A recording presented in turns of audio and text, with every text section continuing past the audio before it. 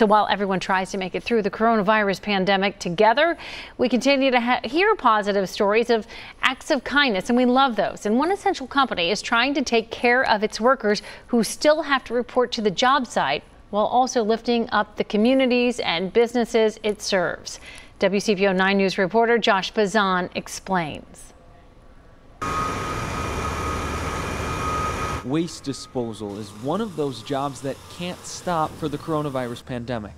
Think about what would happen if we weren't out there picking up the waste. It might be even more important at a time like this. We have seen a 20 to 30% increase in residential waste since the stay-at-home order has been in place. Paul Stautberg is an operations manager for Republic Services in Covington and Cincinnati. The National Waste Disposal Company has decided to buy its frontline workers lunch once a week from local restaurants. These are the meals workers in Sharonville got today from Lucy's Diner, one of Republic's local customers. And we're here to serve and, and get through this crisis and look back to to getting back to some sort of normal soon. The program is meant to take care of Republic's frontline workers who might need a little extra help during this pandemic, while also supporting small businesses in order to help them try to stay afloat. Our hope is these customers remain viable through this, and then when, when the things start opening back up, we're ready to get back to business. Republic is also buying family meals for workers to take home every Friday